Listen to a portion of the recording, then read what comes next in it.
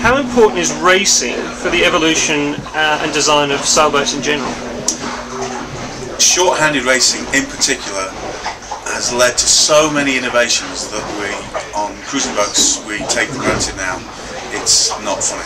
When we're designing a short-handed race boat, as opposed to say a fully crewed race boat, a Volvo boat, we're inherently designing for only one or two people to sail the boat. We're inherently designing a boat which has to be stable, uh, safe, uh, that has to work well under autopilot. All these things are what cruising boats do. So boats like Gamesa, even though they may not seem it, are really important to the development of cruising boat design and, and we have more in common as race boat designers of these boats with cruising boats than meets the eye, I would say.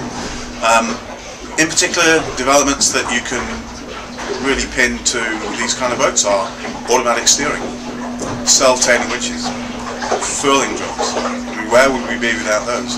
Cruising chutes. All these are developments that come not from fully crewed racing or back in the days of IOR. These all come from short-handed racing.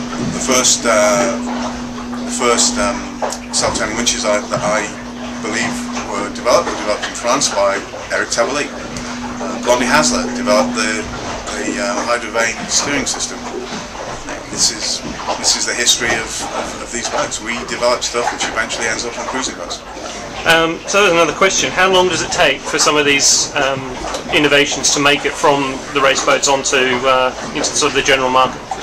It depends very much on the size of the boat and how quickly stuff moves because obviously some of the innovations that we come up with are not expensive but some of them do have a cost uh, entailed to them. Uh, the first boats with um, with composite rigging, for instance, were definitely open 60s. The first one was a guy called Yves Parlier who, built uh, a rig with PBO rigging.